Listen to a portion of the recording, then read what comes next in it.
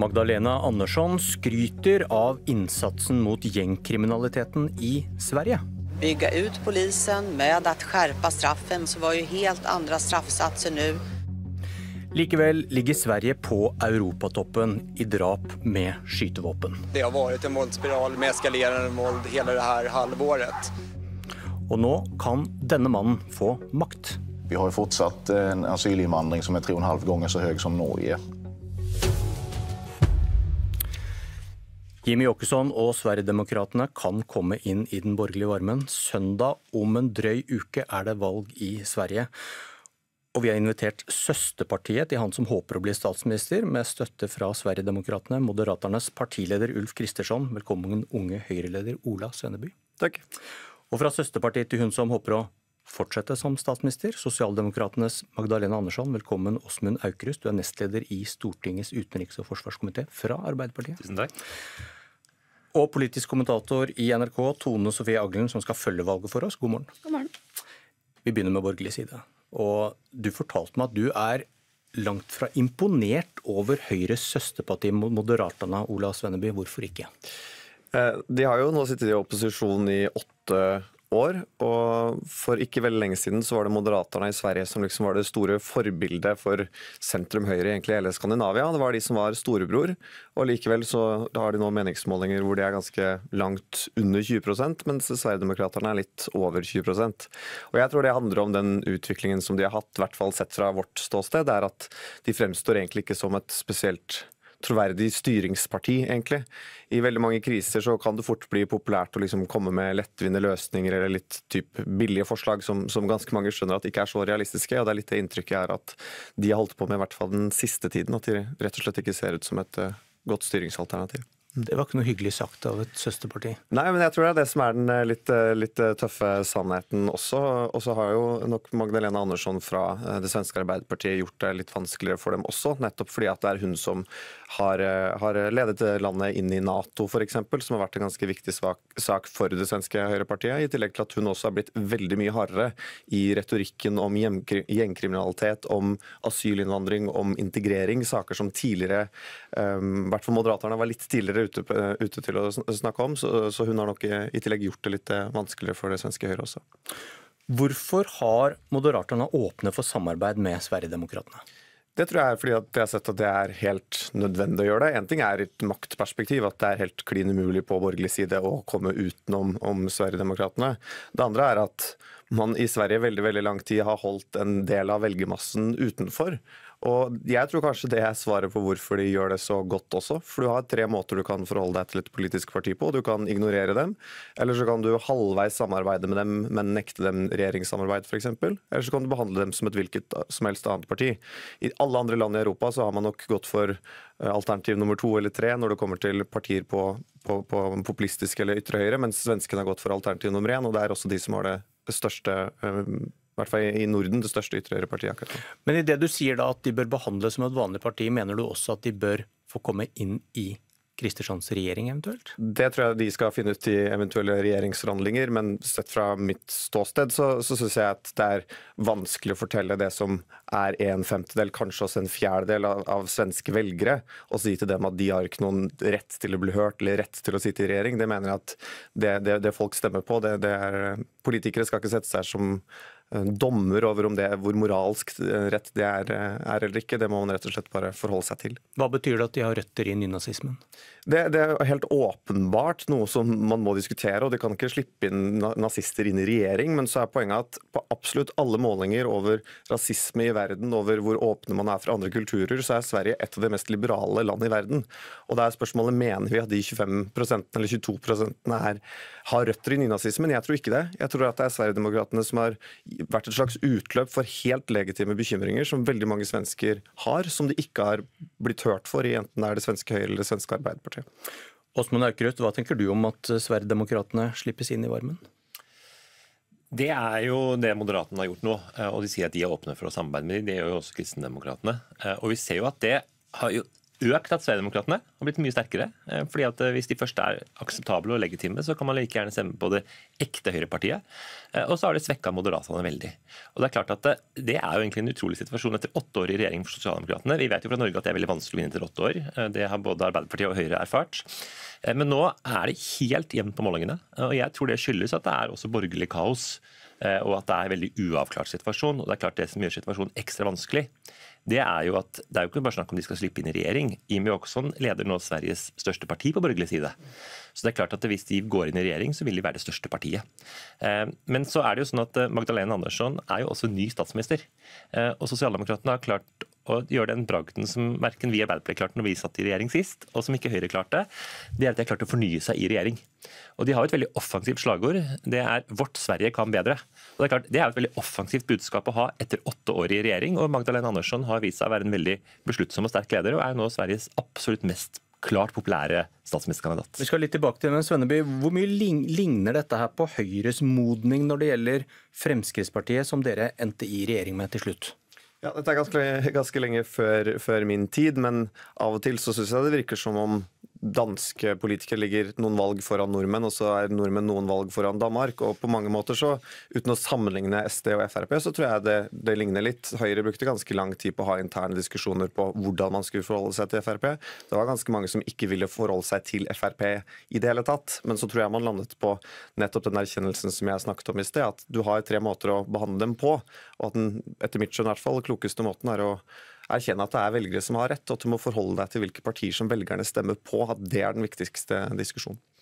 Jeg tror jo at svenske Moderaterna har sett Norge og prøvd å lære av det som man har gjort i Norge.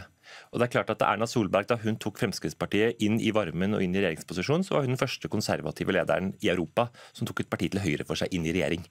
Og Det er klart at eh, det er jo mye av det nå svenskene ser til. Men problemet til svenskene er at det har gått så veldig fort. Det har gått fra at de ikke vil snakke med dem, til å si at de er et legitim regjeringspartner. Og det er klart at eh, Da møter du velgerne litt, møter du velgerne litt i døra. og På mange måter så er det en litt lik situasjon da, som det som var i 2009 i Norge, eh, hvor det var veldig uavklart på borgerlig side. Hvor Siv Jensen ble den store lederen, og det ble Jens mot Jensen. Eh, og det er klart Litt lignende situasjon er det vi nå ser i Sverige.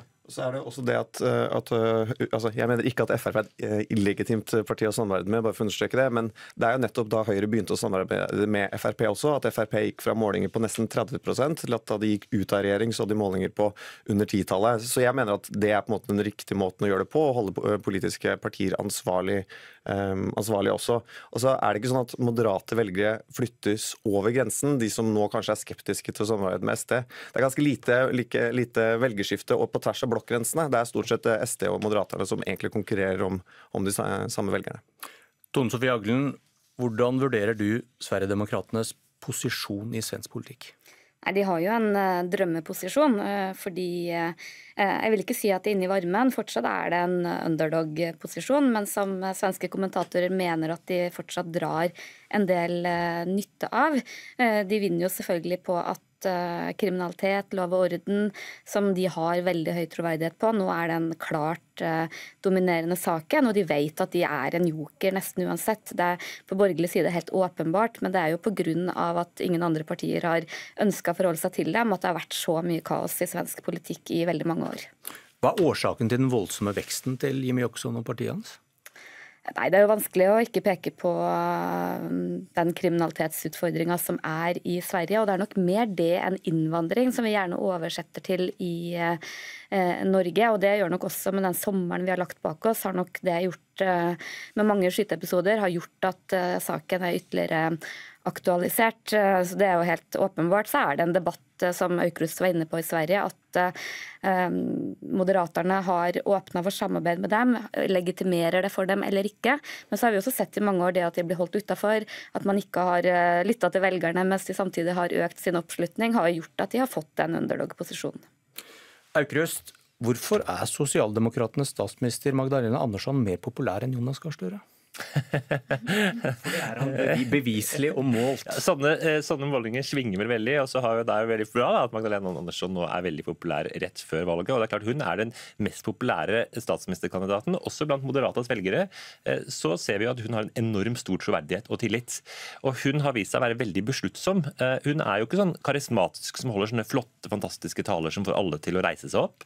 Men hun er tøff, tydelig og På den måten så klarer hun å mobilisere, og svenske sosialdemokratene prøver jo nå å få dette til å bli et slags statsministervalg. Eh, og Klarer de det, så tror jeg de kommer til å lykkes med å vinne valget. For Vi ser nå at det er helt igjen på målingene. Jeg hørte enkelte svenske kommentatorer sa at det er 15 000 stemmer som skiller blokkene. Eh, så dette blir jo virkelig et mobiliseringsvalg. Og jeg tror jo at Sverigedemokraternes vekst også gjør at enda flere kommer til å mobiliseres til stemmeurnene. Eh, og så har jo Magdalena Andersson klart det kunststykket, da, sammen med Stefan Löfven, som var før henne, å bryte opp den borgerlige blokken. Og Det svenske Senterpartiet er jo nå en del av venstresidas blokk. Eh, og på mange måter så blir jo da det politiske landskapet mer som Norge, hvor Senterpartiet samarbeider med Arbeiderpartiet og venstresida, eh, og Høyrepartiet lener seg mot partiet til høyre for seg. Så på mange måter så blir jo landskapet mer likt i Sverige, i Norge, i Sverige som det har vært i Norge. Jeg skal ikke plage deg med flere spørsmål om hva Jonas kan lære av Magdalena, men, men hva, hva, tenker du om at hun, hun da, ditt søsterparti i Sverige, sier at vi skal ikke ha Somalitowns i vårt land? I Sverige har de jo hatt, eh, ikke hatt en debatt om segregering, eh, om eh, gjengkriminalitet, om innvandring på samme måte som vi har hatt i Norge. Og jeg tror at det har de lært mye av. De har lært at de må ta opp de temaene som folk er opptatt av. Derfor så er jo nå Magdalena Andersson vært veldig tøff on crime. Vi skal ikke ha gjengkriminalitet i landet vårt.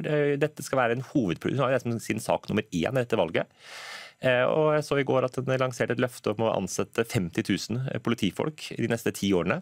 Eh, men det Magdalena Andersen også er, er at den skal være tøff om årsakene til kriminalitet.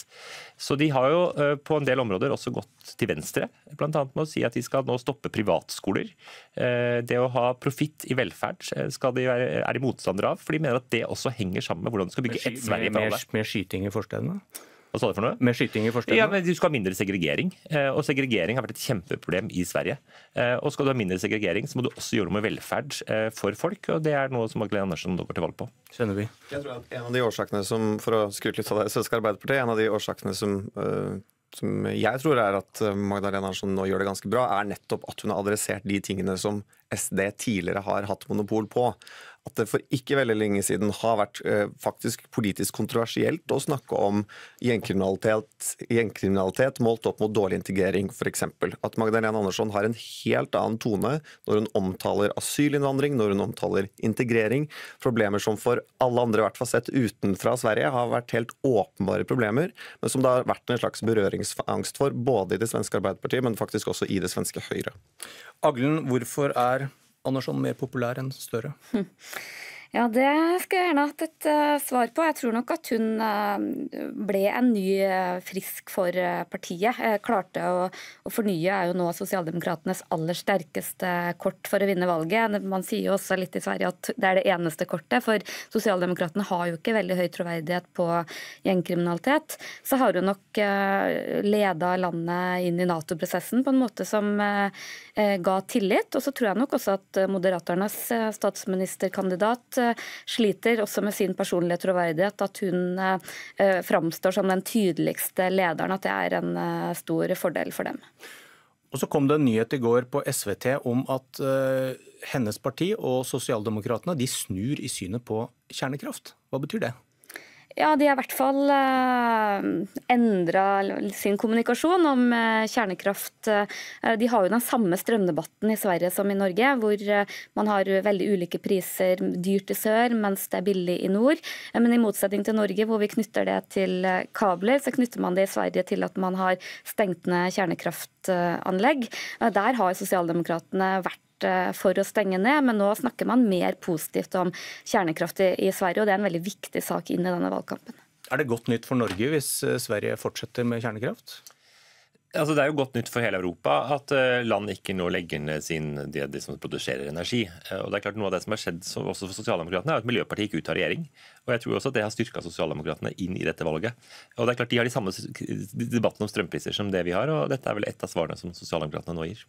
En av de største feilene jeg mener at europeiske politikere har gjort i energipolitikken, utover å importere og gjøre seg avhengig av russisk gass, er nettopp å legge ned kjernekraftverkene sine. Nå trenger vi all energien som vi kan få. Ok, En drøy uke igjen. Hvem vinner?